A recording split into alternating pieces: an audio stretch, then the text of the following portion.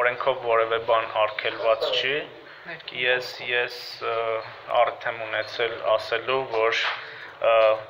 որևէ պարտադրանք չկա, որպեսզի նրանք մտնեն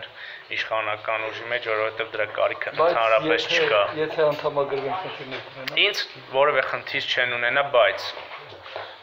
եւ գուցե դրան ապագայում էլ անդրադառնանք կրթության ոլորտը օրենքով ապակաղական, ասենք, այնպես ինչպես իրավապահները աշխատանքի անցնելիս մինչև իրենց պայմանագրի ավարտը դադարեցնում են մասնակցությունը քաղաքական ուժերին, այնպես էլ այստեղ ունենանք նման մի համակարգ, երբ որ օրինակ ուսուցիչը անցնելով գործի դպրոցում, աշխատանքի դպրոցում որոշ ժամանակով սառեցնի իր անդամակցությունը կուսակցությունների։ Կուսակցության անդամ է, ինչու ուսուցիչ չի կարող լինել։ Որովհետև սա քաղաքական պաշտոն է։ Պարոն Հարությունյան, իսկ լեգենդներ են շրջանառվում, որ ԿՊ-ին անդամագրվելու համար 6 ամսով հերթեր են, այսպես ասած, շարքային քաղաքացիների համար։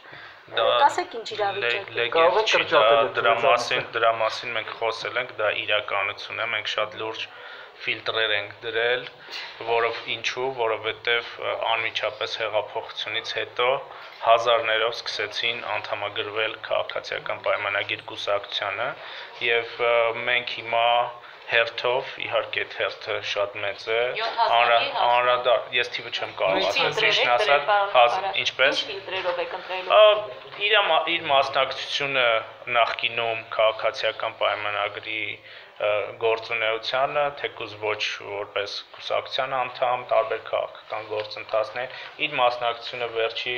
վերջի քաղաքական process-ներին, այս ամեն ինչը հանգեցնում է նրան, որ ավելի հեշտանում է անդամագրման process-ը։ Եվ եւ հեղափոխությանը դուրս եկանք փողոց, այսպիսի մեկնաբանություններ կան սոցիալական ցանցերում, իսկ հիմա արդեն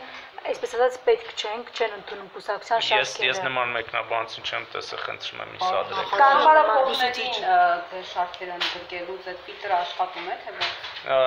Այո, աշխատում է։ Չեք